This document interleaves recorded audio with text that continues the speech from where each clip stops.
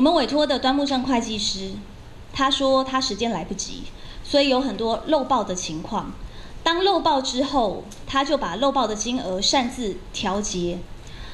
我们查到一一千八百多万，这个是四十一万以上的，那还有很多四十一万以下的支出，可能也有漏报的情形。所以这位会计师他把 A 也就是收入减掉支出跟剩余款之后，他去调节了当中的两千余万元，分成九笔申报，而且这个会计师并没有告诉竞选总部的任何人员，他自行将这短差的两千多万元申报到刚刚我们说的石乐跟尼奥这家公司。还有木可等公司，总共两千余万元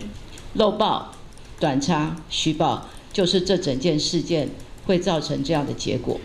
但是这中间没有人伪造任何发票，也没有人伪造任何支出凭证，这每一笔的支出都用在了选务上面。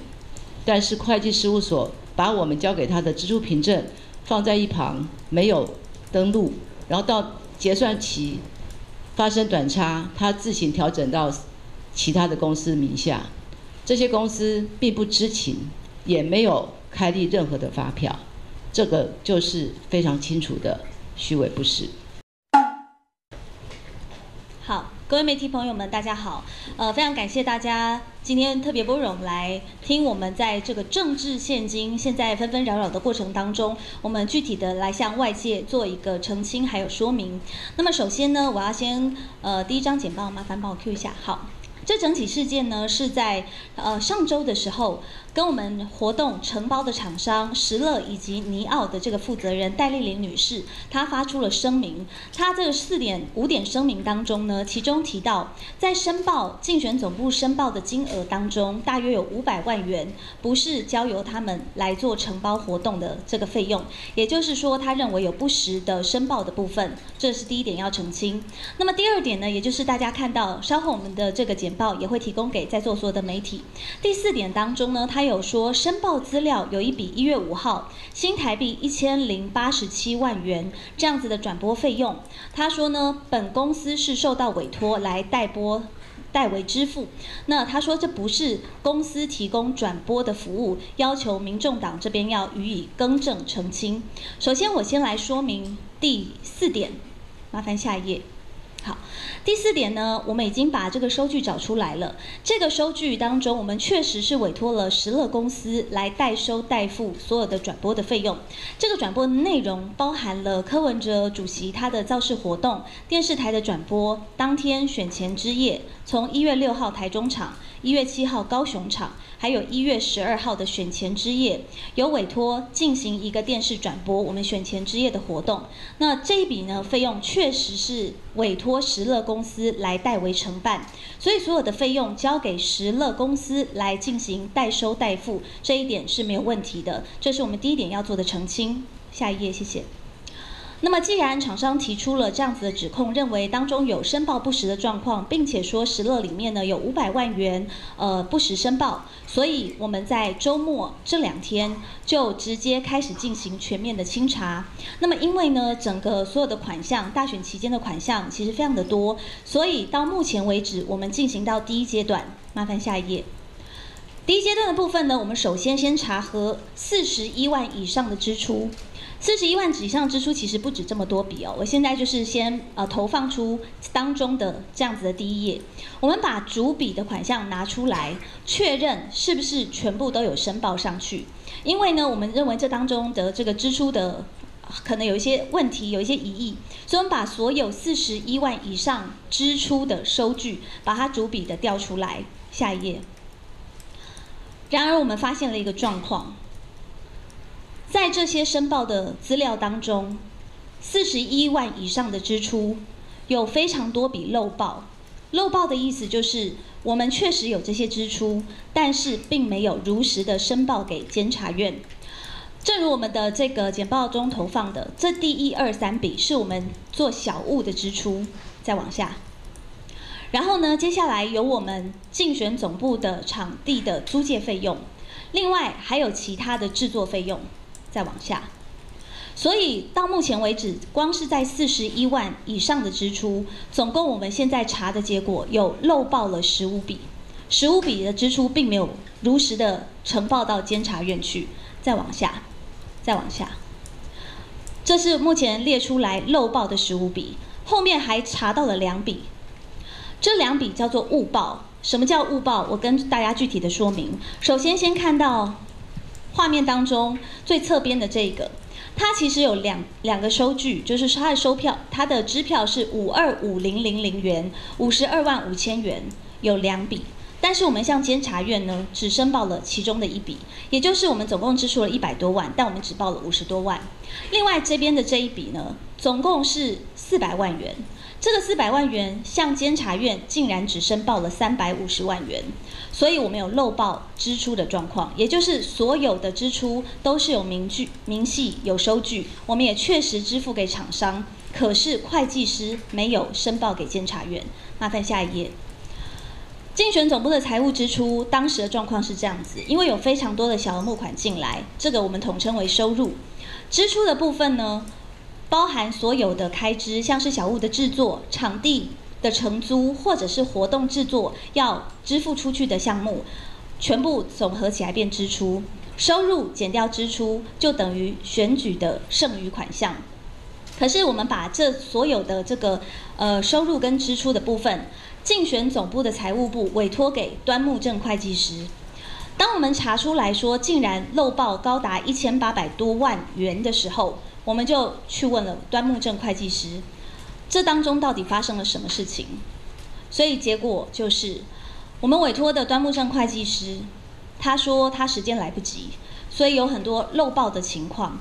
当漏报之后，他就把漏报的金额擅自调节。我们查到一一千八百多万，这个是四十一万以上的，那还有很多四十一万以下的支出，可能也有漏报的情形。所以这位会计师他把 A 也就是收入减掉支出跟剩余款之后，他去调节了当中的两千余万元，分成九笔申报，而且这个会计师并没有告诉竞选总部的任何人员，他自行将这短差的两千多万元申报到刚刚我们说的石乐跟尼奥这家公司。还有木可等公司，总共两千余万元。下一页。所以，经过我们目前清查到的第一阶段的结果，我跟大家报告，目前清查到一千八百多万元、四十一万元以上的支出，有漏报四十一万左右的款项。因为漏报，所以会计师便于行事，他竟然用自行调节的方式，把这些款项。灌到这些公司里头，而这些公司并不知情，竞选总部也不知情，所以尼奥跟石乐公司的负责人发出了声明，认为这个申报当中有状况。那么当中具体的法律责任，我们就请黄珊珊总干事来向大家报告。呃，各位媒体朋友，我想刚刚我们的副总干事已经把流程说得很清楚，我在这边再说的更清楚、简要一点。第一，竞选总部的财务完全是把善打跟申报的工作交给了委外的会计师事务所，这是第一点。每个礼拜我们会把所有的支出凭证配同他的银行往来记录，包括支票或者是汇款，一起把这个凭证交给会计事务所。照理讲，他就应该按笔的逐笔的上。善打跟上传，但是从这一次刚刚你要发出声明之后，我们去清查的结果，就在我们这边留存的支出凭证，有很多笔并没有在监察院的申报范围内，我们才会一笔一笔的去找，从四十万以上开始寻找，表示我们有支出凭证有交给会计事务所，但是没有在监察院的申报范围内。各位这样可以很清楚的明白，支出凭证都支出了，也交给他了，他没有报上去。第一的第一个错误叫做漏报，漏报累积到最后要结算的时候，就会有所谓的短差，跟存折中间有短差，因为有短差，所以他必须要说明，他没有做完整的说明，也没有跟竞选总部讨论。他自行做了调节，就叫做虚报、漏报、短差、虚报，就是这整件事件会造成这样的结果。但是这中间没有人伪造任何发票，也没有人伪造任何支出凭证，这每一笔的支出都用在了选务上面。但是会计事务所把我们交给他的支出凭证放在一旁，没有登录，然后到结算期发生短差，他自行调整到其他的公司名下，这些公司并不知情，也没有开立任何的发票，这个就是非常清楚的虚伪不实。所以就这三样事情，我们讲得很清楚。第一个，因为我们的钱都用在了选务上，我们都有支出凭证，所以这短差的一千八百多万是我们现在比出来的。那他调节的这大概两千万左右，我们现在也还在清查其他的步骤，这个部分我们会就相关的部分向监察院提出补正。第二个部分就是接下去我们还会再去清查其他的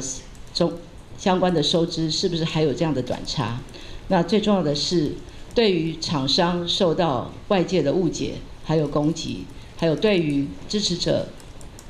大家的担忧，还有社会大家对我们多做关心跟讨论，我身为竞选总干事，还是要在这边向所有的支持者还有所有的媒体朋友们表达我们的歉意。我们没有把控好这些应该要管理好的作业。那财务部在这一次的选举里面，我们非常感谢将近有十八万笔的小额捐款，所以我也可以想见他们的工作量是多么的大。但是不能因为人力物力不足，就对于相关这个作业有所轻忽。